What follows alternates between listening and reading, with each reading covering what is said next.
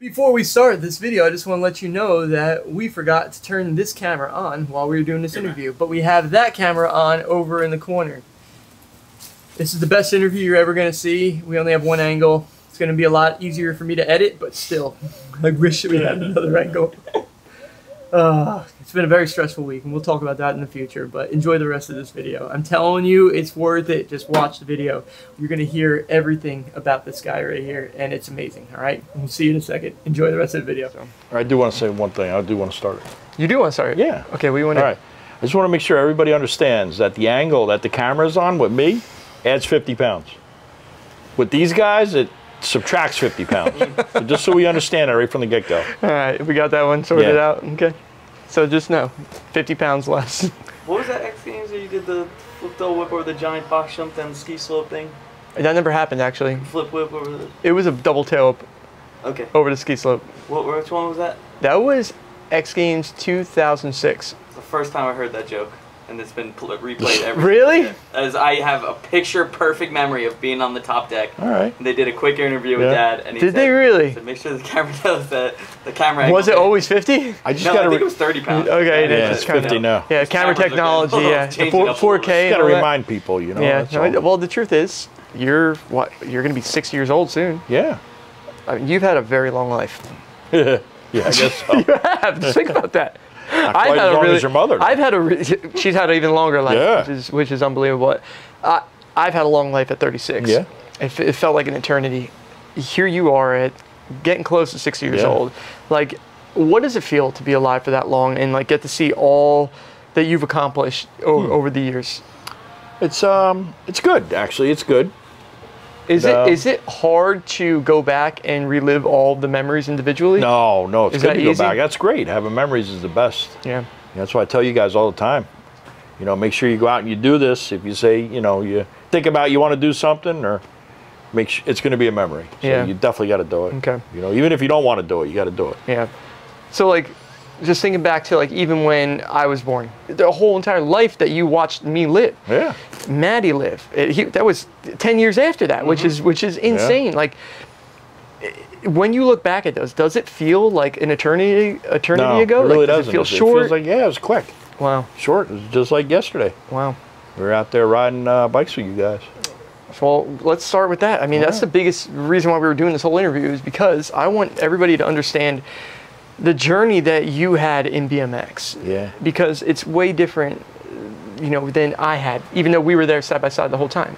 Because I was the one that fell in love with the sport. I was Yeah. the one that wanted to ride my BMX bike. I'm the one that became obsessed with riding my BMX bike, and I'm the one that, you know, ended up accomplishing all I did. But I wouldn't have been able to do any of it if it wasn't for you. That's and true. that first day when I said I wanted to start BMX. Right, So racing. we're gonna start with that. Yeah. You know, um, Clear it April. up.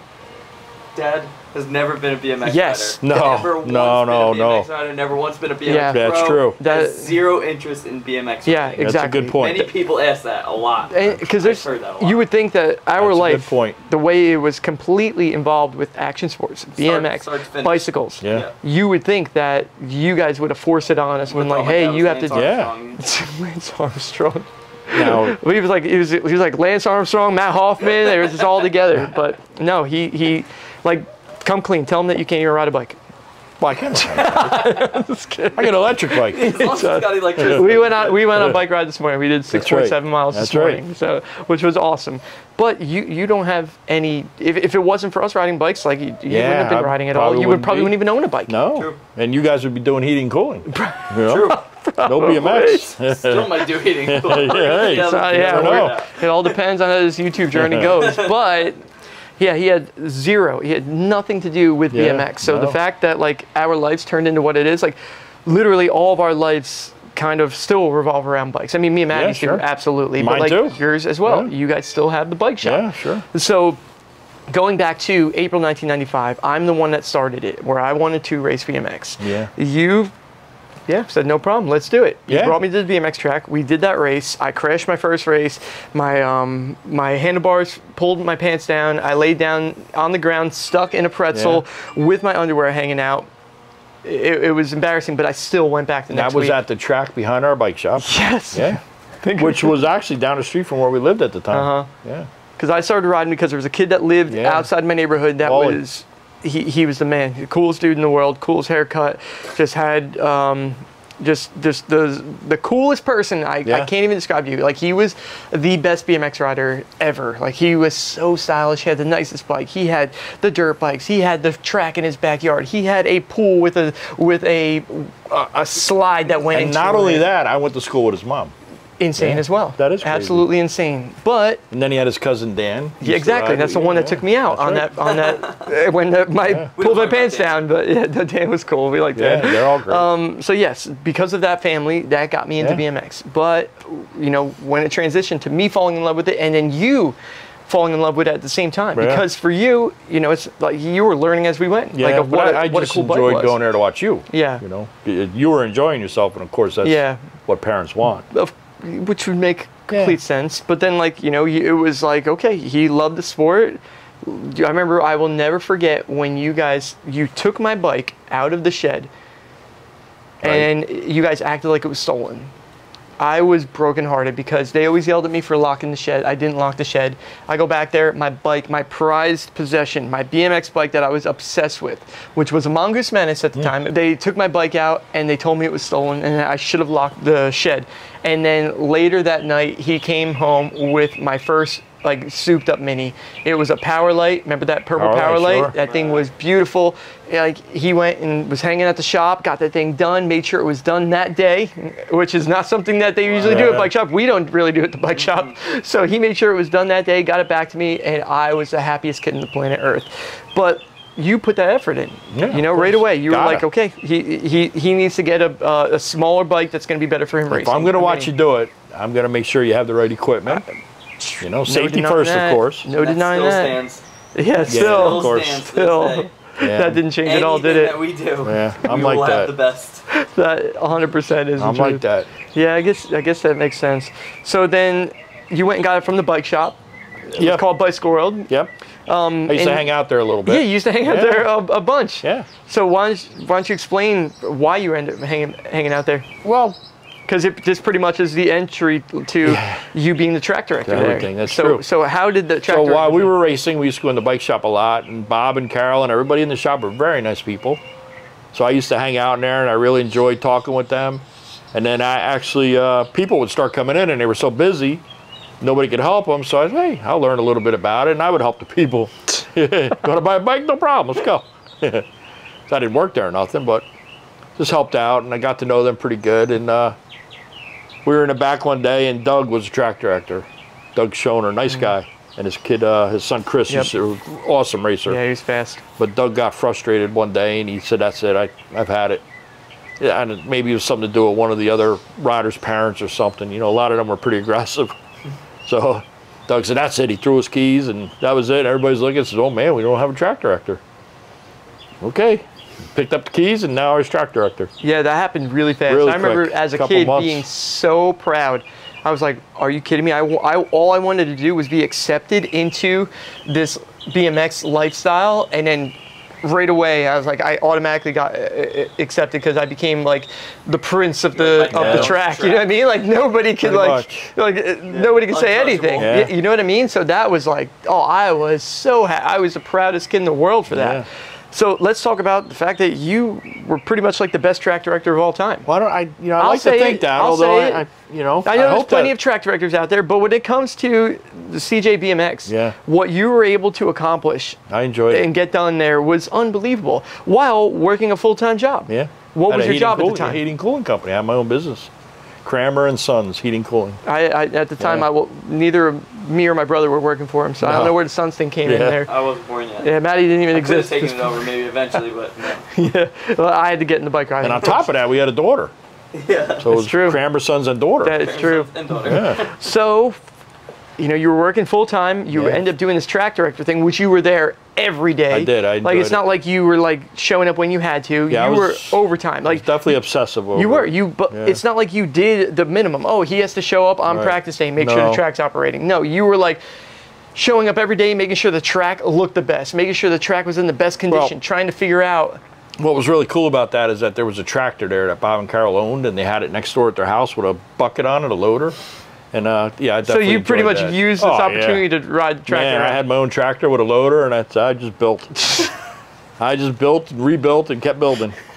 you really did though. Yeah. It was nonstop. Oh, yeah. And this track, just like the amount of people that were racing BMX at this time was insane. Like there was. Yeah, it was. Oh, was Like I- I'm back trying to remember sure. what the moto count Yeah, would be. locals were like 25 motos, I would say. Dude, at the very Yeah. least, it had to have been right. Like Yeah. at the at the Yeah. lowest, because it was I, I remember going there and it was just jam packed. There was just so many. but that track there. from back in the day was a huge. Yeah, it was always a big time Oh, it track. Yeah, wasn't it was. Like, uh, it was part of the. Uh, what did it start off as? It was NBL. ABA. There was one before that. It was actual sanctioned. it might have been that. NBA. National Bike. Yeah, it could I have think been it was NBA. NBA because I remember Bicycle thinking like, oh, Yeah. that's Really? that's the Yeah, basketball yeah. thing. So I'm- I think it Yeah, was NBA. then it switched if to you the guys NBL. know in the comments, you guys can put it below. What was really cool was that it used to race, according to Carol, it raced NBL on Saturday and ABA on Sunday Whoa, it was back a in the day. sanction- Dual sanction track. Whoa, that's because it's private owned. They uh, they were kind of allowed to do that. That's crazy. Yeah, it I was didn't really know cool. that. Yeah. But also kind of why split it up? I don't well, know. a lot of people, a lot but of people only wanted to race brands ABA. that, yeah. yeah. So You can do both for each. Yeah, So some maybe- people only wanted to race NBL, and some people only Because I wanted to never race raced ABA. an ABA race. Yeah. No. Like I, I think I raced Yeah. it once. We like, went as to I got one. I know. I remember going to We one. went to one, but I don't think we raced it. I think we were just there to watch. Yeah, what was really cool Because I remember about seeing the gate and the Yeah, way it operated. had a I was like, I was like, holy it, it cow, was so same with weird. me. And they, they instead of being like, okay, Yeah. riders, set them up. Riders ready. You watch the gate. You know, that's what the NBL one was. The, the the ABA one was sounded like a bootleg version of it. It was just like, Oh, really? yeah. Yeah. It's like And it had this magnet. and ready. The guys would have to lift the gate up by hand, and the magnet would hold it. So when the cadence went, the uh, the magnet would just let the gate drop. I don't even remember what track it was. that we went to. yeah, it was in Pennsylvania. remember. It wasn't too far. Yeah, Yeah, I don't. I don't even remember. I it. didn't- that's how they did so it back in long the day. ago. Yeah, it was cool back in the '90s. Yeah, so like I said, that was 90, it could have been like a 95, the end of yeah, 95 when you took over. possibly. uh, Beginning Oh, it was 96. 95. Yeah, 95 Okay. is when I took over. Okay. So like, Yeah. but it didn't stop there. Like you were like, hey, we're, Yeah. we're going to uh, Columbus, Ohio for Oh, the for the Christmas, Christmas Classic. Classic, we jumped in your truck. The best. We drove on out there. Yeah. We went racing Ohio Yep. at the indoor thing. Yep. That was awesome. Like you, They had the dirt jumps out there. They had the dirt. like it's not like I was going. like, hey dad, Yeah. bring me to the Christmas Classic. You were like, hey, we're going to Christmas Classic. Yeah, we packed Maddie. Well, well Maddie Well, wasn't uh, around when yet. he was around, yeah. he was. We packed everybody up and went for. Because I Day after remember, Christmas, I remember like my mom being pregnant and Yeah, bringing her out yeah. to the races, and then Maddie was born. Um, so I guess fun. we'll fast forward the tiniest little bit. 1996, I was nine years old. Now I loved riding my bike in general. I, I didn't care if it was racing. I didn't care if we were back over at Reefers Ridge, which I didn't know what it meant at the time. I would tell my parents, we're going to Reefers Ridge. I, I had no idea what that meant, and they were like, where? And uh, then they came and figured it out at the trailer park across the street. All the local BMX kids built dirt jumps, and they called it Reefers Ridge. I don't remember as a kid seeing anybody No. experience, you know, the, the, the first word of, of, of the name of the place there, but I don't know. I just remember dirt, dirt jumps happening, and I absolutely loved jumping my bike. Just wanted to jump everything I could. So then, I don't even know how you became friends with Jeff. Maybe it's because he was doing the show at the track. Jeff. Jones. Was it because he was doing the show at so the track? what happened was Jeff had come into the bike shop when I was hanging out there one day, introduced himself. We were talking, and he said he had a show, and he was looking for people that could help out in the show. And I said, "Hey, Scotty's pretty good at jumping. He's young, but he's pretty good at jumping. Uh, yeah, all right, let's try him out." So So that's how it. that happened. Yeah, that's how Hell on Wheels happened. I don't yeah. even remember my first time jumping Yeah, that ramp. I sure. really, I really don't. But we we sh- we were riding it, and then like he would let us do Right. me do the shows with him. Yeah, so sure. I would I, I went from just you know jumping around in the backyard to like jumping with a jersey on. We did Right. a lot of fun stuff. MTV, We, yeah, the. MTV. Yeah, so MTV MTV, yeah, MTV took over like the Jersey Shore boardwalk. Yeah. Like they were doing it like every summer for a little Yeah, bit. yeah, yeah. The summer house. Yeah, the summer sure. house thing. And then uh, they did a show called Say What Karaoke. No, it was just Say What at the time. Say What Karaoke was when they had the people sing. This one was just called Say What, where they would have all the music videos, but they would put the lyrics at the bottom of it as it would play. And Dave Holmes was the host of that one. We ended up going on the boardwalk and doing the say what the say what on the thing. Like, uh, yeah. So we would like while he was like doing all right, the next one's going to be by Britney Spears. We would be jumping in the background. Yeah. Then a lot of right. people don't don't know this, but when I was a kid, nine years old, you were like, "Hey, we're going to Atlanta, Georgia. W- You're going to go do a show Halftime for show. yeah, halftime Yeah. show for the uh, Chicago Bulls Yeah. and the Atlanta Hawks. Right. It was a huge game. It was Michael Jordan's last season as Yeah. the Chicago Bull. If you guys have seen it, last the Last Dance, I think it's Rodman was episode there. six or seven. You can see they're going to show the, the Georgia Dome. They made a whole like, section of this in the Last Dance. You can see Yeah. the Georgia Dome, and there's a shot of the blue ramp that is Yeah. off to the side. Yeah. Like we were supposed to do a halftime show, but I think it was such mayhem we couldn't do the halftime show because there's so many people there. It was just mayhem. They were like, "Yeah, we, we can't do the halftime oh, show." Oh, really? So we ended up doing the show on the other side of the curtain, and I, we did some jumps outside. Um, so we And then never I got remember to the do- players on the Yeah, way we- out were actually. we were Hey, you guys were awesome. yeah, I Dennis got to see Dennis Rodman like Yeah, walk past me and stuff. I, I got to see Michael Jordan play in that game. Yep. Like it was the coolest experience. yeah, that was that was really. So we did a few of those, like of doing like halftime Yeah. shows. I remember doing like for Steelers, we Yep, did the Steelers. We did. Um, we did the Hornets. Remember doing Yeah. that one, and it was awesome. So much fun. So that kind of transitioned into the next portion because I was obsessed with free, with freestyle. Absolutely obsessed with freestyle. I just watched props, got all the magazines, knew every single rider, and all I wanted to do was like be a part of that. And it's it's a tough thing to get into because like you have to learn of where to go find it. A BMX track, you know, oh yeah, they race, so you show up there. But then when it came to freestyle, like it was like you had to kind of figure out how to be a part of that. I just Yeah. wanted to go to a skate park. I've never been to a skate park in my life. So you brought me to the Toms River skate Yes, park, I did. which was a cool skate park. Fairly new, and it just it Was, opened. it was a cool skate Yeah. park. There was no other skate park in New Jersey. The guys were great that ran it. Uh, Yeah. But then kind of grimy. I didn't like that the uh, there was so many kids in there. It was kind of dark. The birds were flying around and pooping. I guess you know, that's all over the do. ramps. So the kids are riding on ramps, falling on ramps. I remember like seeing something I shouldn't have as a kid. Like remember like seeing like this kid's doing like really grimy things there, Oh. and like Oh. he was like, he was, he just didn't want to bring me there anymore. That was it. I just thought we could do better. And when you say we, you literally meant you. Like you were Well, you you. I so do tell- I guess pretty much tell us how the whole skate park thing came into Yeah, play. and I just saw that there was just a need for a for a little bit of a Yeah.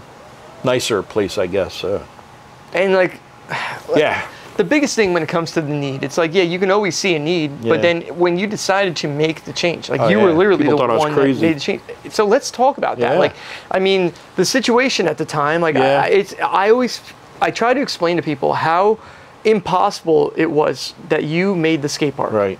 And it's so hard to like even put into words like. Like, how, how much can you tell us about how this process, from start to finish, of like So- when you went to go find your first Yeah. building? Like, how how did that come into So play? I had it in my head that I wanted to find a building. Buildings are very New Jersey is very expensive. Buildings are very expensive in New Jersey.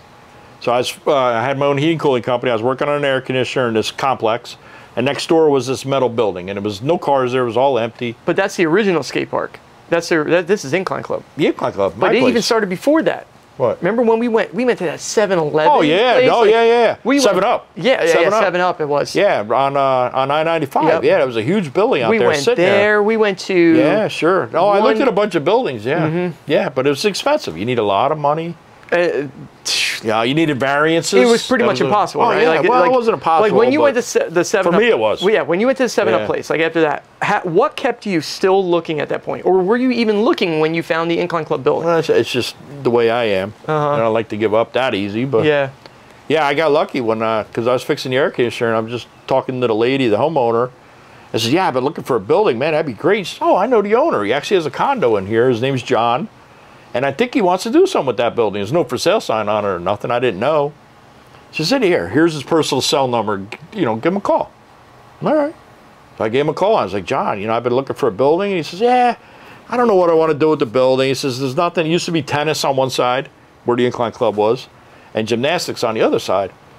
and uh, the building had caught fire. It was electrical fire. They had an electrician working on the electrical, big electric, in the back of the building, in the center, and uh, the something happened with a water pipe. I think a water pipe had broke off a water heater, sprayed on all the electrical while everybody's in there playing tennis and gymnastics and everything, and all the lights started flickering. Uh, smoke in the back, and and he, you know, of course, he got nervous. He called an electric uh, electrical company in. The guy came in, he's working on it, and I, the guy did something wrong. I don't know what happened. The screwdriver, everything was wet. He's working on something, and he grounded or shorted, and the transformer he said lit up like a Roman candle. Whoa. So all this giant electrical, it was like 480. This is big, big stuff. It was just shooting through the ceiling, uh, the roof of the building. Um, you know, of course, everybody had to evacuate. The fire department's there. Uh, everything started catching fire in the building. You know, there's no more roof because it burned right through the roof. So I guess he had some kind of a lawsuit going. And he told me, he says, listen, I got a lawsuit going. Uh, I don't know what I really want to do. What do you want to do? He says, I really like to sell it. Yeesh, gotta want a lot of money for this thing, you know? He told me, yeah, I think I would sell it for this much, you know, because we were casually talking. And like, wow, that's a lot of money for me, but it, yeah, it was like half a million dollars, I guess. So I'm thinking, you know, well, how, how, what am I going to do here? You know, I got to find somebody that has money. So I called this guy, a contractor I was doing a lot of work for. I was like, Marty, you know, I got this building here. It uh, had a fire in it. It's huge. It's on you know, five acres, I think it was on. And the guy, I think he only wants like 500 grand. He's like, really? Boom. He was there in 10 minutes. So he looked, he met with John, looked it all over. He says, uh, tell you what, how, if, uh, how about if I give you 500 grand? you know? Yeah. And uh, done. Shook hands, and that was it. Marty now owns the building. Like, all right, Scott, what do you want? You know, you hooked me up with it. What do you want for uh, for for hooking me up with this? I said, I want the spot. You know, I've been looking for a spot for a skate park. I need this spot. Okay, done. You got the spot. And what happened That- was, so that all happened relatively quick. yeah, it did happen quick. But the guy that he bought the building from, and is a really nice guy, John, ended up leasing it back. So Marty bought the building, he now owns it. But then he signed a lease with John. Oh. Yes. So now I had to lease it from John. It wasn't my buddy Marty anymore. My buddy Marty owns the building. That's weird. and and John and he told John, look, Scott's getting the side. You know, you're gonna lease it. Yeah, I get it, but you got to work it out with Scott. Yeah. So I had to now lease it from John, which was okay. John was very fair with me. So he gave me a pretty decent lease. Went to talk to your mother about it and everybody. Everybody thought I was crazy. What, what are you talking about? You can't, you know, this is a big building. This is a 25,000 square foot building. Big. There's no way you can do this. All right, so now we got the lease. You know, everything's set. We're ready to go. Now we need ramps. We need insurance, you know. Lighting, all the lighting had burned out of the building. So I had to put lighting. but it cost me like you know, luckily I could do a lot of stuff myself. Right off the bat, I think it was 14,000 for the lighting. Just the lighting. Like, oh great, now I got to buy ramps. So I had a contractor that owed me money. And I says, listen, you owe me money. Eh, well, yeah, I'll tell you what. How about if you help me with some material? I need some wood, I need some plywood, I need this, this. All right, yeah, I could do that. So I gave him a list of what I wanted. It all started coming, big truckloads of stuff started coming in. My friends started coming over. I'd ask them, you know, can you give me a hand building? so that was it. A lot of my friends would come over and help me build. It was cool. We had all these lifts there, and it used to be a tennis club. So the whole ceiling was filled with tennis balls, all the rafters. We just tennis ball fights constantly. It was just, it was a great experience. And then I need more money to do other things, insurance, a deposit. I needed a big deposit on the building. So I worked a deal with the guy because the ceiling was burned. He had bought this uh, white paper, and um, I had to rent lifts. He says, "I'll tell you what, I'll buy the material, I'll rent you the lifts, you do the labor to install this paper, the entire building, and then. It's fifty thousand square foot because of the other half too. That'll be your deposit." okay. So it took a couple months there for all of us, me and my friends again, on lifts, putting this white material up on the ceiling made it look really nice. And then once that was done, I could put the lighting up. There was a 14,000 of lighting went in. Now we could start putting the ramps in because I had all this material stored in there now. So we started building the ramps. So we got it just enough to open uh, right around your birthday. Yeah, Yeah. the first day that opened was January 28th or 29th, Was it that late? 2000. Yeah, it could be. 2000, yes. Yeah, because Wow. we ha- my birthday was the 11th, Yeah. And then we had my birthday party the night before. Your which I birthday party was, was the opening 27th. Yeah, the opening Yeah, uh, event. and everybody showed up there. How there. many people showed up? Yeah, a good amount of did the first people. look like there? Oh, the first day. Yeah. Well, that was kind of. Uh, That was a weird one. Yeah, I was Yeah. thinking about it recently. I was like, dude, you had no way to even like advertise. No. It's not like there was That's what I was social wondering. media where you could be like, uh, yeah, and then there was a lot of buzz going around. Hey, there's a new skate park Yeah. opening. He's like, get out of here. There's no new skate. We got Toms River Skate Park. There's no new skate park opening. So people kind of just start showing up. Like the first Yeah. day we opened, I And we didn't have 100%. The skate park was Oh, probably yeah. only 50% when we maybe even less. Yeah. fifty percent. Yeah, we had a big mini ramp, and I guess the mm-hmm. box jump section might have been. Yep. And then that was it. We just had barriers up uh, on a giant open area. Yeah, which Yeah. was so wild. Like, there's so many things I'm like trying to like bring up because like when he was doing the work, I was a kid. I had no idea what the heck was happening. I know that my dad just said, "Hey, we're building a skate park here," and I was like, "Are you kidding me?" And I would show up there, and I was 12 years old at the time. I would hang out there pretty much every day, and like he said, it used to be a gymnastics place. Yeah. So I would like sneak over there and go play on these that place is gymnastics cool. stuff. Oh, I spent so much time there. In the, it was completely smoked out, like dust Yeah, everywhere. I was having the time of my life jumping into these it all. It was great. They were good people too. The people that uh, leased the gymnastics part of it, then I had the other part of it, and we all worked together. It was really, really good. it was unreal. It was a but- nice setup in the beginning. But like thinking about it, like you were just saying, like oh, you had your friends come. Like there, seriously, sure. there was so many people that came Yeah. to help Yeah. make the skate park. a Yeah, thing. you're right. It was like I look back at it now, Yeah. I couldn't appreciate it at 12, No. but now like realizing like there was so many people that a lot of people put a lot of effort, a working, lot of time. working for free just Yeah. to get this place going. A lot which of was oh, it was unreal. Yeah. And so whatever, we opened up in the year 2000. Yep. Skate park, did, like, did it gain pretty quick traction in your opinion? Did it? Oh, yeah, I think it went huge. And then we had some stores in it too. We had built some buildings inside. So we had a bike shop inside, we had a skate shop Mm-hmm. inside, and a birthday party room on the inside. Year 2000. Yeah. I'm I just turned 13 years Yeah. old. Um, I'm riding there every single day, Yeah. pretty much. Um, uh, I quit racing about six months after that. Yeah. That was when I stopped racing. Where I'm like, oh, is- I don't want to race anymore. There's no reason for this. Yeah, and then I had stopped being tra- track director Yeah. same year, yeah. So same year. So you did. I was also state commissioner for Oh, New Jersey. yeah. Yeah, that's right. that's true. I totally New forgot. Jersey BMX, yeah. So I pretty much made you quit that all that stuff. Well, you didn't make me quit. yeah, I know, but like uh, Yeah. I, you know, I wasn't going there anymore. Right. So, um, so all our energy kind of went into Yeah. riding BMX. Then I I guess it was, for the first year, you know, I kind of just was having fun, and then when I probably the next year was when I started competing, right? When we would start going to some of the events. Yeah. We would start going to Roots. Well, the Roots Jam was in 2002. The first one I did as an amateur when I was 15. Right. So I did 15 and under 2002. But like I, we started doing some events before that. Like we did the um, B triple B, I think it was called. we went up to Niagara, Niagara. area. Like I don't even know where it was the B B B's, triple the B's triple- or B yeah, B B's. It, it was at Triple Right. B. That was the name of the place. oh, at the skate. yeah, it was Board park. Bikes and Blade, I believe, was the name of the place. So I ended up competing there, won that event. That was pretty cool. So we had never been in Niagara Falls. It was the first time. We had a good time there. But anyway, they had this giant. Uh, the setup in this park was ridiculous. They had this giant vert wall went straight up. Like a, wall, a quarter pipe wall ride. Yeah, it wa- like it was quarter pipe wall huge. ride. How tall was it? Do you think? It was at least a six foot quarter pipe to Yeah. a nine or ten foot wall. It was big. It was big. It was really big, and, and it was had a little deck long. on top. Had a little deck on Yeah. top. And uh, Scotty says, "Watch." he jumps up this quarter and lands on top. What would you? f- I manualed rode it. across I the top of it. it. Yeah, Yeah, I manualed across- it.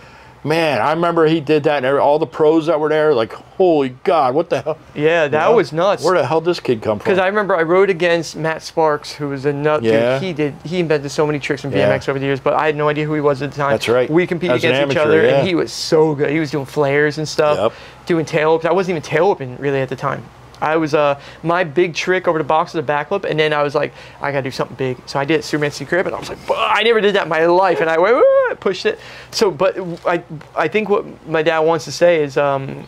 Alistair Whitton ended up winning the event, and Alistair Whitton did my manual in his run. Oh, Right. wow. Yeah. That's crazy. which was wild. Like, Yeah. it was it was nuts. So like that was amazing Yeah. to see. We went to the La Revolution contest, or I believe it was the one at the Binghamton, New York skate park. yeah, that that's what- crazy yeah. East Coast Terminal skate park. Yeah, yeah, yeah. The place yeah. was there, by the Leland was out there cooking on the grill with uh, Leland. yeah, naked again with his uh, Yeah. apron on. Yeah, Yeah, like because Crandall was that was Yeah. his spot up Yeah, there. we, sure. were, we were hanging out. Uh, it was just cool seeing all those pros place, hanging yeah. around.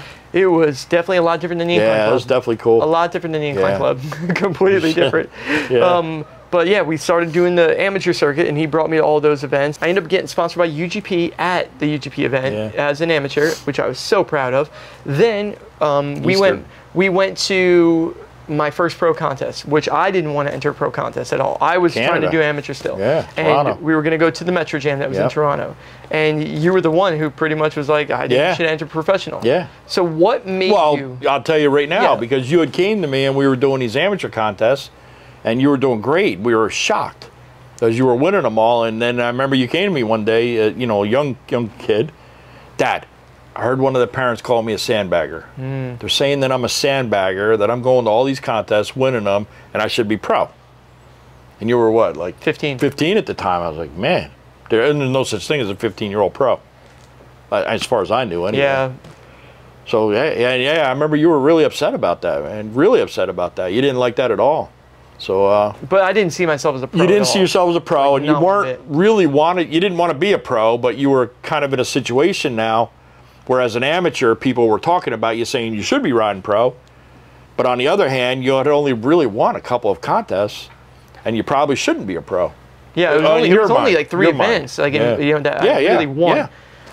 And Yeah. it's not like I went to like a whole series. Yeah, so that's what I said. I was it. like, you know what? Why don't we go to uh, Metro Jam? I'd never been to Canada. You had never been. So let's go to Metro Jam and, and let's see if we can enter you as a pro. And I remember we went there. Me and you jumped in the truck and we went to, to Canada. We went to Toronto. Pretty cool. Definitely cold. it was the coldest place in the And world. uh, it was just me and you. Yeah, we, st- we got a hotel. It was, again, it was pretty strange. Uh huh. And Nope. then so I, I did not want to enter pro. Still, when I was there, I like I remember when I went to enter you. I went to sign you up. Yeah, Scotty Cranmer, 15 years old. Okay, what division? Uh, he's going to enter pro. Huh? Pro? How old is he? 15. Nah, I don't, I don't think you can enter pro. That doesn't really, all the pros. No. So they tried to. Yeah, they were basically saying, nah, you should, you know, you can't enter pro. He's only 15. I was like, well, is there a rule? No, really, there's no rule. You know what? All right, he wants to enter pro. Let's let's enter him as pro. So you were apparently the youngest uh, pro that had ever entered. Yeah, in those at least. yeah. so, like I said, I didn't want to enter pro. Yeah. I did not because I saw all those guys as my hero. Oh my God, they, were, all there too. Everybody Jeez. was there. I was just so starstruck. Yeah, it and was then amazing. I had to show up and practice with these guys. Right. Imagine me as scared as possible, having to practice with all the guys I look up to. I Right. did not want to get in front of them at all. So I barely practiced. I just did. I just did a couple hits. I'm like, man, I got to do. I want to do a flip whip on something. I got to like really, if I'm gonna try to enter, so I really got to bring the flip whip out. And I did the flip whip over the hip, Yeah, the that was spine to the hip. Did that. It worked. I never did a hip flip whip in my The life. The wall ride, the tail whip was the big trick. that was the big At one. the time and at that Yes. contest, that was that, was, the big one. That day changed my life. Like 100%, that day changed my life. It was weird because we were sitting there. I remember when you did qualifying, Mm-hmm. And uh, we had got panini sandwiches. We had never ever heard of a panini sandwich, but we had got panini sandwiches, and we were sitting there waiting as they're calling off the the uh, finals. Who's going to be in the finals? And we're going down a list, down a list, and they're calling off all the names, and they're getting down into like the top five. And I was like, you know what? It was yeah, because cool, I man. rode pretty good in qualifying. Oh, I thought you like did I, great. I, I landed everything. Yeah. Like I did, I did what I, thought you did what I- great. What I, Yeah. could do, pretty much. and they're they're you know me and you were sitting against the wall there doing our thing. We didn't really know anybody there, so it was kind of just me and you. Yeah, we're just by ourselves. Yeah. So uh, and they're calling names like, hey man, it's cool. You know, so what? You, you didn't make finals. We had a great time. This was a great experience. Number one qualifier, Scotty Cranmer. Holy cow! Are you kidding me? I remember Number your- one pro I remember qualifier. his reaction more than anything. Like Yeah. Cool. I was like, it hit me like a, like a dream. I was like, how the hell? Yeah. Like, I, and then he he was like, oh, like he was so That was crazy.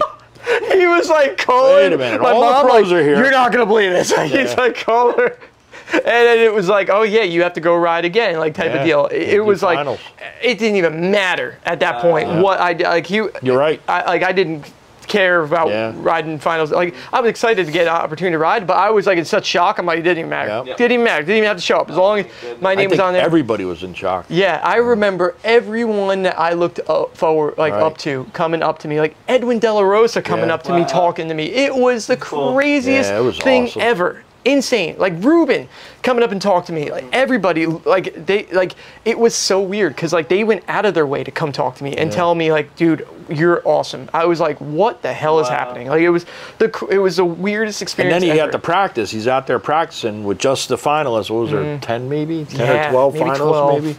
So it was good because one thing about Scotty is that he hated to practice when there's too many people on Mm-hmm. a course. So anyway, he's practicing and he uh, blows his tire. And we didn't have Well, tube. That was no. That so the practice. Was or- it the first run of final or was it run. practice? Yeah, Yeah. So my first run. Pops his tire. Well, he had a slow leak in the tire. I did. You're right. He had a slow leak in the tire. He um, he only gets to do what'd you have like a minute run or something. yeah, it was a, like a jam. You out there, you did your minute, you come back in, you got a flat tire. So now we're running to a pump to pump his tire back up for the next run. So you'd run back out there, you'd do as much as you can, come back in with a flat tire. Yeah. We just kept doing that the whole time because we didn't have anything to change. We didn't have uh, we which I, which I look back at and I'm like I feel almost like it's like a blessing because like the pressure was off at that point Yeah, for me. Like right. I was like I went from being like oh my god to being like I'm here I am like riding Yeah. with everybody and then I have a flat so I'm just battling Yeah. the flat tire. Yeah. You know what I mean? Like so. I, which I thought was a blessing. So I ended up getting ninth, Ninth- place, you know, but like. I, I never even got to run through it because like I, my tire just kept going Right. flat. But like it completely changed my life. Remember Alan Foster coming up to us straight sure. away. Yeah. So Alan Foster, legendary BMX racer, Right. Brian Foster, they're brothers, and he came up to my dad straight away, started talking to us. He's like, "I'm Alan Foster. I know exactly who you are." He's like, "I work for Felt Bicycles." Yep. He's like, Team manager We would Felt." love to put him on the team. So he went there on a recon mission. Uh, you like, hey, go out there and try to find somebody Right. we can put in the team. And, then yeah, he made his mind immediately on that. Yeah. And then. Um, we we left uh, that event, and then uh, s- straight away we were getting called by Vans yeah. their Vans is calling calling up, and they're like, they're like, hey, I'm Jerry Badders from Vans. We'll put him on the team, but I know Jerry Badders. We, we, that's the guy that Sure. Chris Chris Schoner used That's to hate. right. Yeah, we hated him. yeah. Chris Schoner, my dad mentioned at Yeah. the beginning. Doug Schoner was track director. Yeah. My Chris Schoner was his son. Well, He they, I don't know that they hated him. They were. They no, were, Chris Schoner hated Jerry Yeah, Badders because we went to the Grands with Chris yeah, Schoner. Yes. He got taken out in the Grands Yes, by he. Jerry Badders. So he goes, I hate the bad boy. Yeah. Bad boy Badders is the worst. So in my head, I'm like, that's the worst rider ever. I was like, I hate that guy. Yeah. So he called my dad up. This is Jerry Badders from Vans. I'm like, get him off the phone. I'm like, this is ain't happening. I'm not going to Vans. And then we started talking, and then like it went from oh, you know, like I, I was sponsored by Eastern Bikes. Yeah, Before at the that, they were just sure. giving me a bike. That was amazing. sure. And then it's like, oh, we want to pay him Yeah. to be on the team. So it went from I, I, it was my job straight Right. away. It turned immediately into this being my job. And Yeah. here's my dad like negotiating. Oh, I'm like, oh yeah, sure. The- well, this t- company wants to give him this much a month. Yeah. It was ridiculous. So Yeah. let me bring up this one thing, okay? I got to bring this up because I, I, I think people will find this very interesting. Okay. Seventh grade was a rough year for me. Uh-huh. Okay, it was a real rough year for me. Yeah. I was School. doing terrible in school. Absolutely terrible in school. Uh, I only just, one year. Yeah. Oh, okay. this one in particular. Fifth grade was when I went started going downhill. Seventh grade, I just couldn't focus. I was just I would just sit there and just think about riding my bike all day. I was building drawing ramps. Is all I would do. Finger I bike. tried. I tried. I just had zero interest in what was being taught. I was failing. I wasn't doing good at all. So they called in and they had a meeting. They had my dad come in for this meeting. All right, this is seventh grade.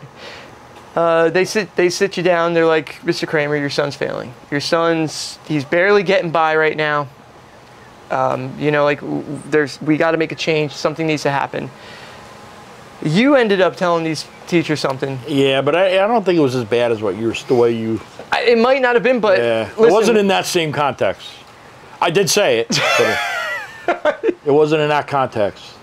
It might have had something to do with you going to college. If you don't straighten up now, you're never going to get accepted into a college. I says, well, he's probably never going to college anyway. He's going to be a pro BMX rider. yeah. So that was that.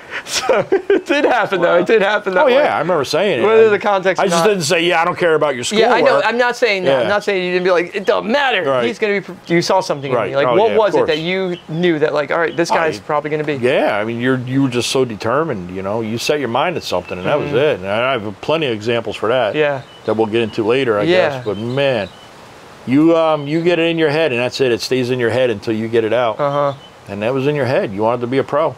Wow. And then yeah, he told he told them like you know the truth, and that that Yeah. was the truth. It's not like it was fab- fabricated at all. Like and BMX No. at the time was huge. It was huge, Oh, yeah. humongous. The amount of people that were coming to the skate Yeah. park all the time, it was insane. Plus all the contests that were going. Exactly. So many competitions, Yeah. and it was epic. So, uh, n- not even a month after Toronto, I don't even know when the Roots Jam was in 2003.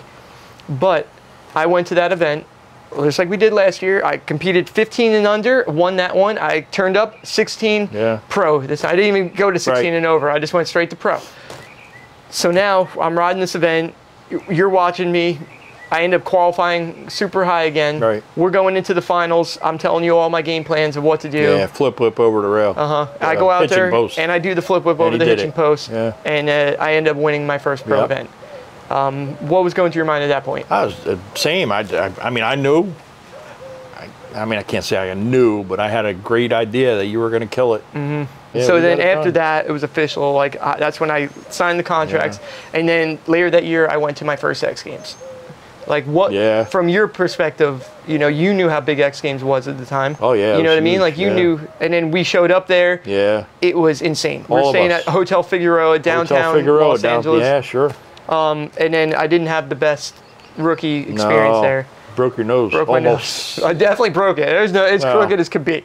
It's crooked. Yeah. There. It, it hasn't been straight since. My eyes were black and blue. Yeah, he had a bad time. I got that was 19 in practice. 19th out of 20th on the, uh, the event of the that day. wasn't a good one, It wasn't good at all.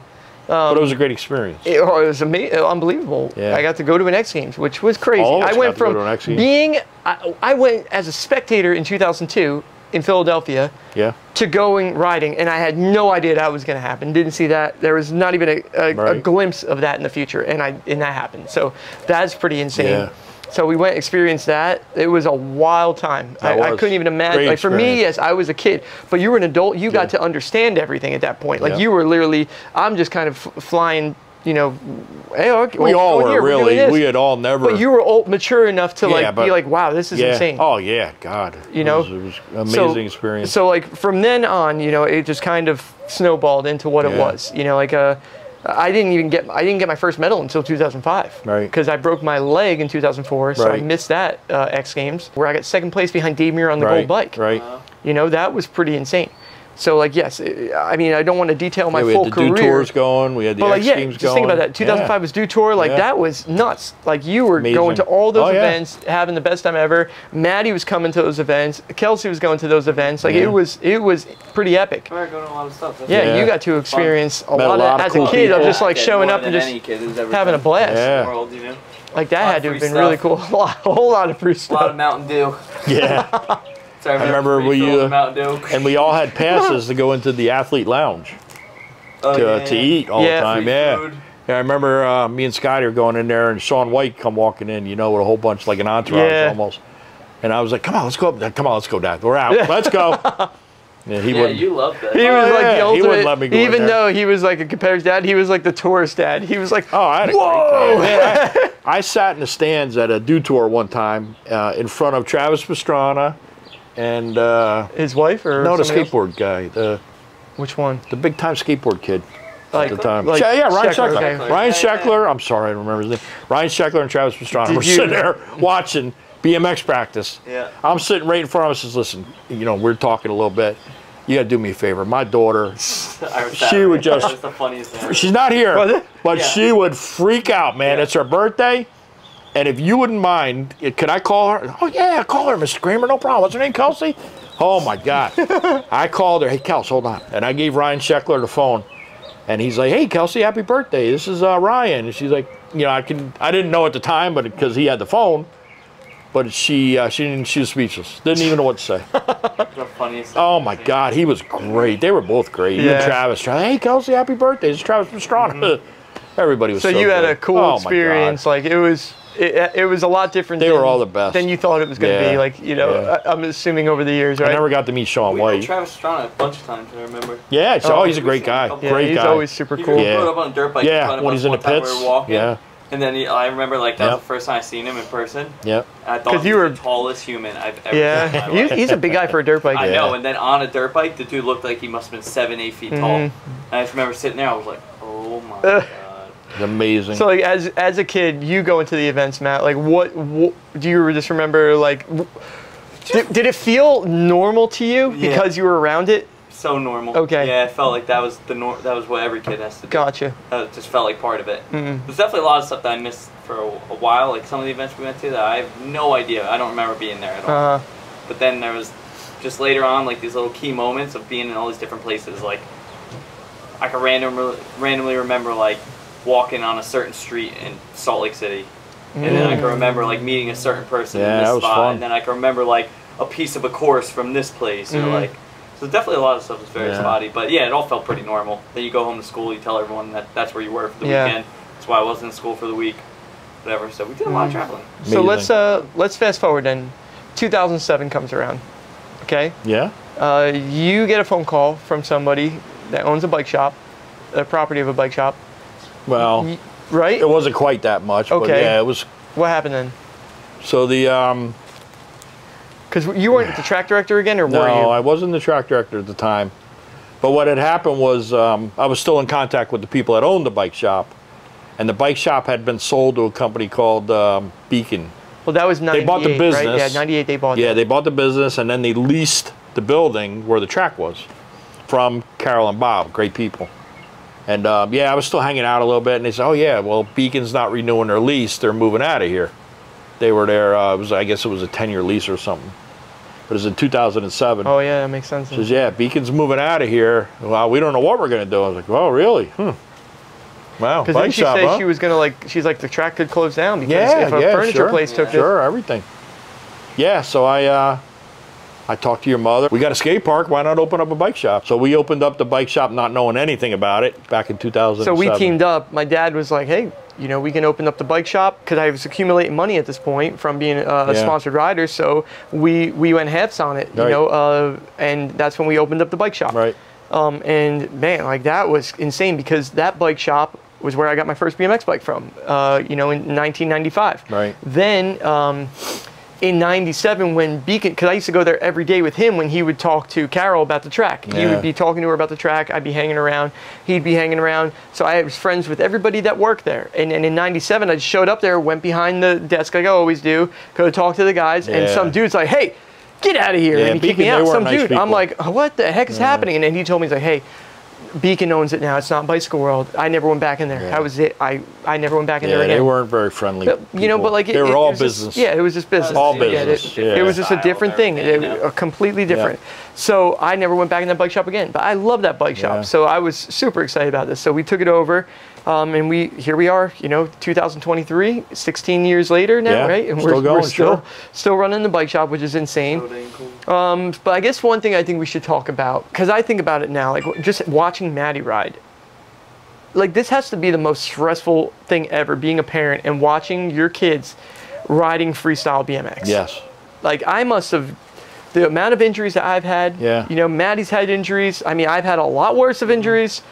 How, like, how did you mentally handle this? Honestly, Yeah, that's that's a good question. That's I mean I don't know. I guess we got used to it. Uh, is it's that hard really how it is Do you really get used to Yeah, it? you know what? I, what was I going to do? I can't pull you out of something that you're Like, for you one ever making a thought, living yeah, at. but have you ever thought, even before that, of like, oh yeah, he can, he's not gonna do this. This is too dangerous for him. no. But like, No. because I broke my leg when I was 13. Nothing too serious. Right. Um, I knocked my teeth out when we went to Woodward in 2001. Remember that? Yeah. Like, um, I had a couple head injuries here and there. yeah. That was it. But like for But you, But again, there's no way I could stop you from Yeah. doing it. You would have never.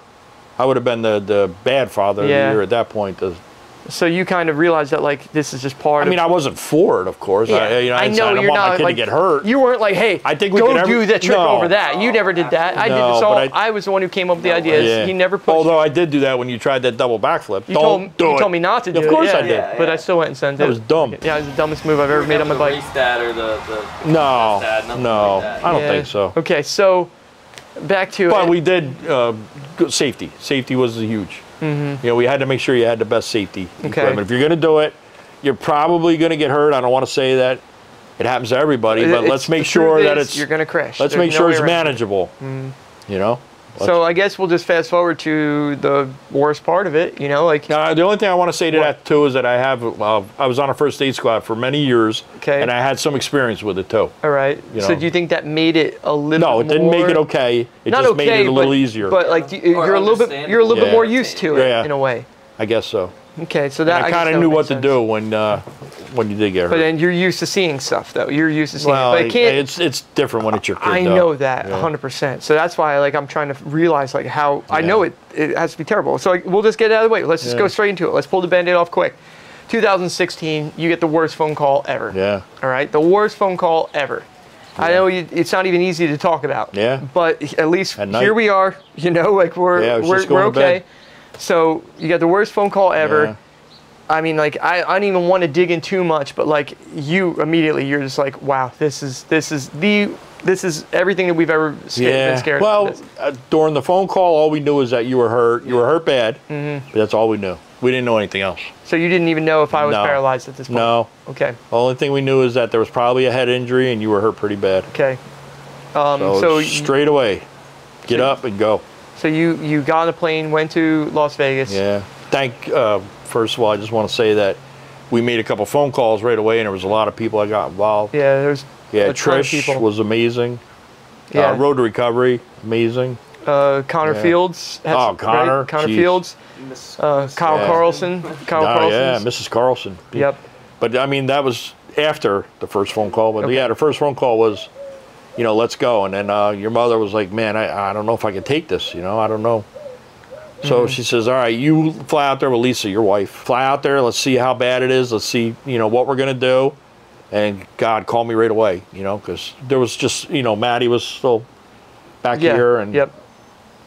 we, um, yeah. So that was it. Lisa Lisa and I got on the first plane we could. Mm-hmm. Got there in the morning. Yeah, it was pretty. So uh, I like I know that was like the roughest thing you probably Yeah. ever experienced. Yeah, it was you know, bad. uh, but I guess instead of digging in too much, let's. When did you first know that I was going to be okay? What was like the first thing that where you were like, he's this is going to be okay. Wow. It wasn't for a while, I can tell you that, because Uh-huh. it was a bad scene when I got there. Yeah. It was uh, very scary. Uh huh. You know, we had no idea, and, and we're in there looking at you. You're laying in the bed. You were pretty much out because you were so swollen. Mm-hmm. You were mumbling some stuff, but you were really out of it. Mm-hmm. And then um, the nurse says, "Oh, can you come out to the desk? The doctor or the surgeon wants to talk to you on the phone." It's like, "All right, I'll go." We're on the phone, and Lisa and I are both kind of listening. We had a phone between us, you know, listening to what he's saying. He's like, "Yeah, well, he's now uh, classified as a quadriplegic." What? No, he's got a head injury. No, he's got a neck injury too, which we had no idea. Wow. So he's now a quadriplegic. He's paralyzed. Uh, full. Oh my God. That we had no idea. That was Jeez, that hit so me like a had- ton of. Oh you yeah. Didn't even know it. No, Whoa. no. I remember hearing that. My legs just got weak. It was bad. Wow. Yeah. Yeah, like I know it's really hard for you to talk about. That's Yeah. why, like, I just wanted to uh, just briefly, because like I always try to remind you, and I do this to myself too, where like, hey, Yeah. we're, we're here, we are, right? Everything Oh, works yeah. out, right? In the end, the, the story has a good ending, but at the time it sucked. Oh, it was bad. so like you were there the whole time with me. Oh yeah. From No, I didn't leave. from sure. October 12th or 13th, you know, there could Yeah. technically be the next Three Vegas, weeks we were there. and we were we were in Las Vegas. Thanks again, like you mentioned, to Connor and his family helped us out. They um, they had connections to a, a townhouse or a condo. Mm-hmm. Uh, pretty close to the hospital, and they uh, they offered it up to us, Wow. so we were able to Amazing. stay three weeks. Yeah, Amazing. Oh uh, yeah, yeah, But absolutely. so amazing. many people helped Yeah. us. So we'll just skip past, you know, the, the bad part of the, the injury. We get to New Jersey. We're at um, We had to fly you, West Yeah. Orange. Yeah, that was crazy. fly him in a med jet. Uh, I was still out of it. I don't. It, it took me like two days before I started remembering things or started acting normal, ish, ish. Like you know, like where I would actually like have my eyes open and talk and stuff like that. Yeah. Like uh, there, but then it was a long time there of doing Yeah, more of the same. Three months. when did you because like mentally i wasn't right and i remember telling my cousin the story about the medjet flight where i was on the medjet i told him i was like they flipped me upside down i was hanging over my arms were tight Yeah, it was miserable and i looked at him and i see him look at my cousin and go and he looks at, at my cousin and goes that never happened and i was like Yeah. I, i'm like it hit me i was like uh-oh there's something wrong with me like i was convinced of it i was like all right i'm out of it so so i You were way that, out of it. You all, man, it was a. yeah, for a while. We had a pretty bad head injury too. Yes. Besides being Well, paralyzed. That was the wor- That was the original diagnosis. So right? I remember Like, even in the hospital in Vegas, um, and you hated this. They would come in with this um, oxygen thing that you had to blow into, and every time they came in, it had this smoke coming out of it, which was a Mm. mist. And you swore to God it was a cigarette. yeah, You said, "No, I'm not smoking a cigarette." And the guy's like, "No, I'm a therapist. Listen, this is air coming out. It's going to go into your throat. It's going to help you, and I want to see how much you can blow on it. You know, how high you can raise the ball." I'm doing it. And then what we we finally figured out was that listen, let's tell him it's a microphone. If we tell him it's a microphone when he's filming a YouTube video, maybe so Tammy come in and Scotty, hey, let's um talk into the microphone here. Tell me a little story about this. And man, you went Really? oh yeah. Yeah. Wow. The story started flowing. So Yeah. crazy. he did an introduction and everything, you know, and he didn't mind it at that point. He's like, hell yeah, let's go. yeah, it was crazy the way things Oh, worked. that had been so scary. I mean, Yeah. like it's. It, I'm so glad that I have my movement back, but like the Yeah. fact that my brain works. yeah, you're right. I'd say normally right now. You're right. I don't think there's anything. No. uh, uh, Like you know, like I said, I caught Yeah. you behind my back telling my cousin that I wasn't right. Right. I don't. s- I don't see you doing that right now No. anymore. I haven't No, seen you no, do that in a while, no, so I'm assuming everything's everything's good with normal, Yeah, right? yeah, I yeah. okay. haven't seen anything. Yeah, I haven't caught on yet, but Yeah. but like I think that's the be- most important thing, right? Like where I'm like Of at course. least I'm a normal functioning person Right. to talk to. And I think that's I'm more grateful for that than anything. Yeah. So let's just uh, flash forward. You know, I think we we covered a lot. Yeah. Here we are. You know, you have Matty now riding. Yeah. How do you feel about Matty riding? I feel um, I feel pretty good about Matty riding, and one of the reasons is is that um, you had it in your head, like again we were in Orlando in the uh, Dew Tour finals, and you came to me. Uh, you had made the finals, and you came to me and says, "Well, for finals, I need something big. I'm going to do a double backflip." I said, "What?" yeah, I think I can do it. Said, well, that's not good enough. You know, you can't think you can do it. Did you ever do one? No. Why do you think you can do it now? It's a vibe. It's a vibe, Dad. I feel it. It's got a right lip. Everything's right. I think I can do it. Listen, let's do something else. This isn't a good idea. You had it in your head that you were going to do that double backflip, and you did I it. had It didn't win. matter what I yeah, said. I had to win. So it didn't matter what. Yeah, you're exactly right. You had to win. I had to win in my head. Ugh, So- but that's the way you were. Uh, Matty's a little different. Matty, Matty loves the competition. We're not having competition. that conversation. We're not having a double backflip conversation. Yeah, right. Any moment. That's never co- Matty- Matty's not showing up to a contest and saying, "I think I know what to do." No, Matty, um, you had to win. Matty doesn't have to win. He's he's competitive, but he doesn't have to win. Yeah, he. And that's not by my choice. That's by his choice. Yeah, Matty's not like risk his life. N- Matty for does the not win. have the determination that you had. He's an awesome rider. He has his, a great style. He's got his own thing about him, which is unbelievable. A little different than you. You were, you were uh, a little crazy.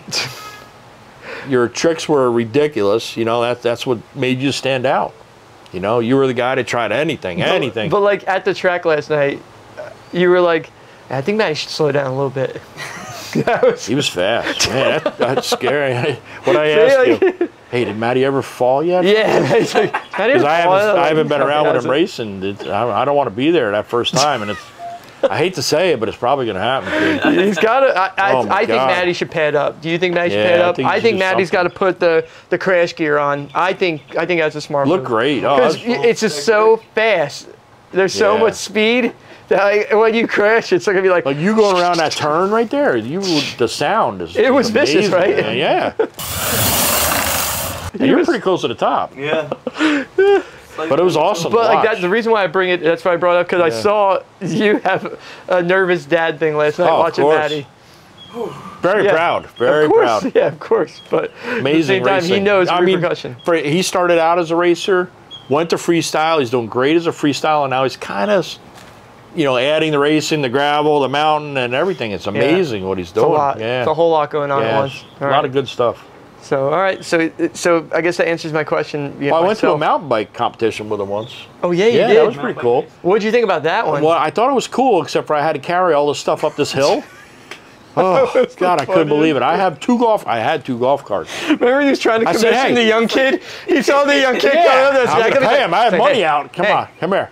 He's like, hey, do you think I should tell that kid to go carry? I told tent? him, we come back here again. I'm bringing a golf cart. That's it. We're That done. so funny. Pulled truck up. He's like, I'm gonna pull it right out. It was- Dad, you can't do that. It's not.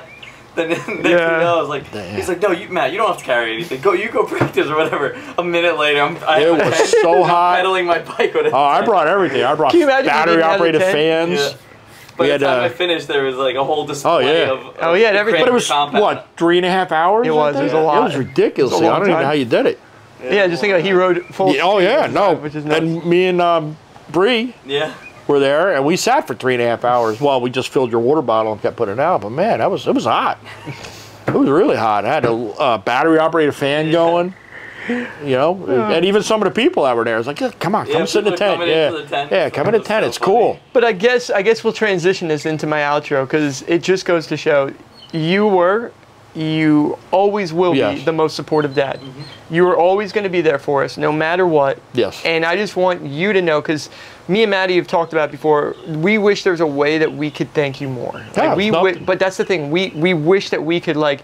I, I, I just wish that this YouTube channel would take off and we could just get you the sickest RV and I wish that we can go on But tour have it. and we can hire I you have it. and we can hire you to be our tour tour driver Yeah. and bring us to all the skate Yeah. parks. Yeah. That would be my dream. Like I Well. wish that that would happen. And a It may happen. I might But- retire soon and we could do it anyway. you know, yeah. so like Segway would yeah, be cool. Segway. Segway would be Man, that would be cool. yeah. He's been wanting to I think that Segway would forever. like We used to rent the Segway on the, the beach, the he he boardwalk. loves the Segway. That was like That was a lot of fun. I tried to buy him a Segway used one. They are so expensive, Yeah. man. So Like I couldn't justify it still. Yeah. so. Eventually, off. we're gonna get a Segway. Yeah, eventually we're gonna do it. I think after people watch this Listen, video, we're I'm gonna get sitting in some the Florida right comments. now. You are sitting in Florida. I can't wait for you to permanently sit in Florida. You see me dripping Not sweat here too, yeah, right? of course. But Wow. you're gonna get acclimated. Yeah. But I just want to say thank you from the bottom of my heart for everything you have mm-hmm. ever done for us. Huh. All of that, man. You've supported us from the beginning. You will always support us till the end, and we are just so lucky to have you. We really are. All right. All right. So Thank you. you know, I just, I, I really can't say it enough. And Don't um, stop here.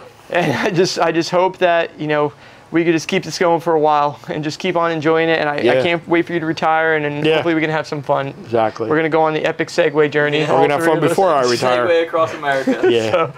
Well, guys, that's it. I hope you guys enjoyed this interview. Um, yeah, I don't know. I, I hope this this kind of puts out in perspective of how amazing parents are. Because like you can look at your life and see what your parents have done for you at the same time. You know, we've had a very unique path, um, a lot different than most. But man, everybody out there just appreciate what you have, uh, how lucky you are to have the family that you do, and. Um, and yeah, I'm just uh, looking forward to see what the future has in tail for us. So uh, yeah, this is probably the best interview we have ever done and ever will do. And um, I'm very grateful we were able to do it with our dad down That's here in. Florida. And uh, yeah, we're gonna go have some more fun. But I'm glad we squeezed this in. And uh, yeah, we'll see you guys in the next video. Peace.